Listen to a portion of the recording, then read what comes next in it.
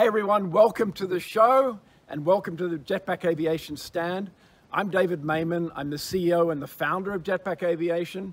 And for the last 10 years, we've been working on jetpacks.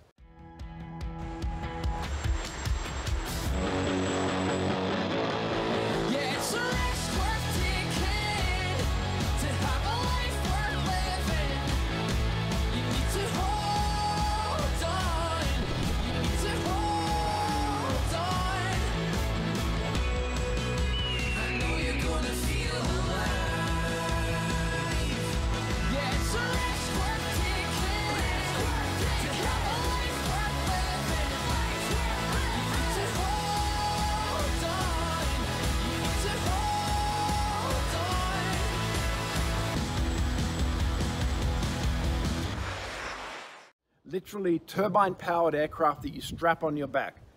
You can fly at over 110 miles an hour, but now we're working on the speeder and we're about to show you a, an animated video of the speeder. But we will be flying the first prototype by the end of this year. The speeder is very small, about the size of a motorcycle. It can take off vertically. It can fly at over 200 miles an hour.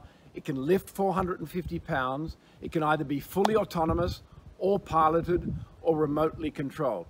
We are not waiting for energy density of batteries at Jetpack Aviation. We are using turbine, and the reason is that if you want a small aircraft, it is simply impossible to achieve the kind of missions that our customers want and that other people want from electrically, uh, electrically powered aircraft. The energy density of batteries is just not great enough, and nobody honestly knows when that's going to improve. So we're not waiting.